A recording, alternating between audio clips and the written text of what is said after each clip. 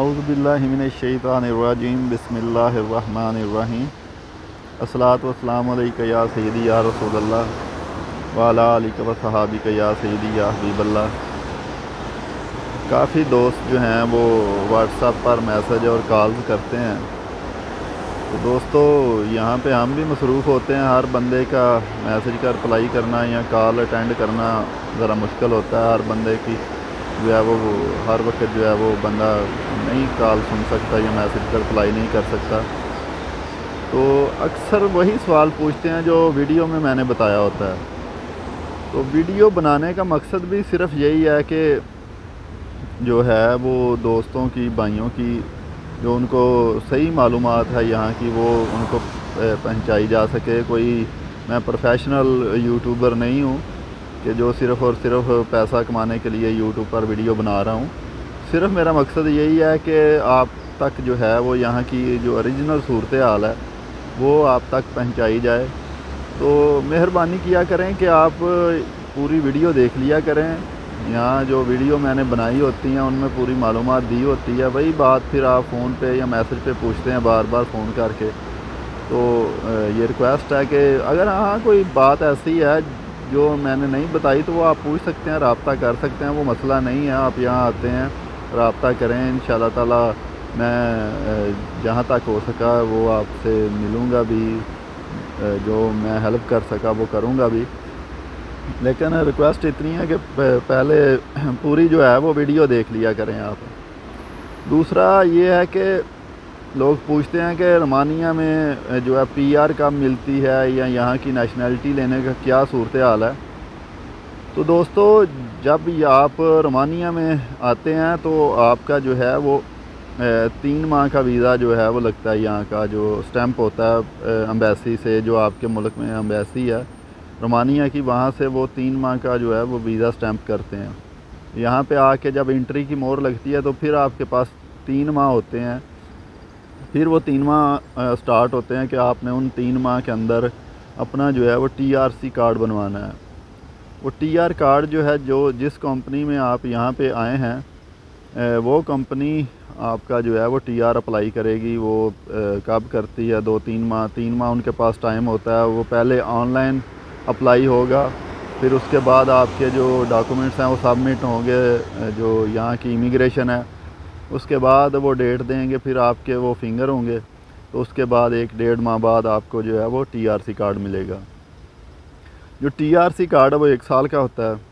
एक साल के बाद जब आप ख़त्म होता है तो अगर उसी कंपनी में है तो वो रीन्यू करवाएगी, या किसी और कंपनी में आपका कॉन्ट्रैक्ट है तो वो आपका कार्ड जो है वो साल बाद रीन्यू करवाएगी। अगर कॉन्ट्रैक्ट चल रहा है तो आप खुद भी जो है वो कार्ड जो है वो रीन्यू करवा सकते हैं।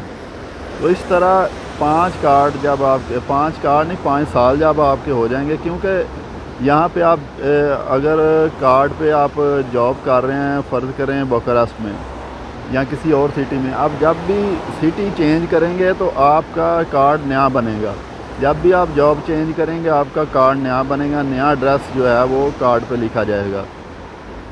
तो ये हर दफ़ा कार्ड जो है वो चेंज होता है। आप के पास अगर बोकरस्ट का कार्ड है तो आप किसी दूसरे शहर में जाके काम नहीं कर सकते। अगर किसी दूसरे शहर का कार्ड है आपका तो आप यहाँ पे आके उस पर काम नहीं कर सकते। हाँ विज़िट कर सकते हैं आप, लेकिन आपको कार्ड चेंज करवाना पड़ेगा। अगर आप उस कार्ड पे काम कर रहे हैं तो इमिग्रेशन अगर पकड़ लेती है, वो कंपनी को जुर्माना भी करेगी तो आपको भी वो कर सकती है। तो पहली बात तो ये। दूसरी बात ये है कि पाँच साल के बाद आप यहाँ की पीआर अप्लाई कर सकते हैं। यानी कि परमानेंट रेजिडेंसी आप पाँच साल के बाद यहाँ पे आप अप्लाई कर सकते हैं। पाँच साल के बाद आपको परमानेंट रेजिडेंसी का कार्ड मिल जाएगा। तो उसके बाद जो है पाँच साल के बाद आप पासपोर्ट भी अप्लाई कर सकते हैं। लेकिन पासपोर्ट यहाँ का लेना कोई आसान नहीं है। उसके लिए आपको यहाँ की लैंग्वेज लिखनी, पढ़नी और यहाँ की हिस्ट्री आनी चाहिए। एक टफ उसका पेपर होता है, बकायदा वो आपसे बोलना, लिखना और जो है वो सारा उसका टेस्ट लिया जाता है। जो बंदा तो यहाँ की ज़बान अच्छी तरह जानता हो लिखनी, पढ़नी, वो तो पासपोर्ट का हल होता है। वो पाँच साल के बाद अप्लाई करके तो उसका वो टेस्ट होगा, अगर वो पास करता है तो वो पासपोर्ट ले सकता है। लेकिन प्रॉब्लम यही आती है कि यहाँ पे जो है वो ज़बान जो है, अगर आपको बोलनी आ जाती है तो आपको लिखनी नहीं आती। अगर लिखनी भी आती है तो आपको इनकी हिस्ट्री जो बड़ी लंबी चौड़ी इनकी हिस्ट्री है, उसमें से क्वेश्चन वो पूछते हैं। तो वो बंदा कहीं ना कहीं पे जो है, वो फंस जाता है। तो यहाँ का, लेकिन इतना मुश्किल भी नहीं है कोई बंदा एफर्ट करे, कोशिश करे तो ले भी सकता है। कुछ लोगों ने यहाँ पे ली भी हुई हैं नेशनलिटियाँ जो पीआर कार्ड है उस पर भी आपको ये सहूलत मिल जाती है कि आपको कॉन्ट्रैक्ट नहीं लेना पड़ता। जो यहाँ पे टीआरसी कार्ड पे ये है कि आप जब भी जॉब चेंज करेंगे, आपको न्यू कॉन्ट्रैक्ट इमिग्रेशन से बनवाना पड़ेगा। जिस कंपनी में भी जाएँगे, उसके साथ आपका तीन माह के अंदर कॉन्ट्रैक्ट करना ज़रूरी होता है।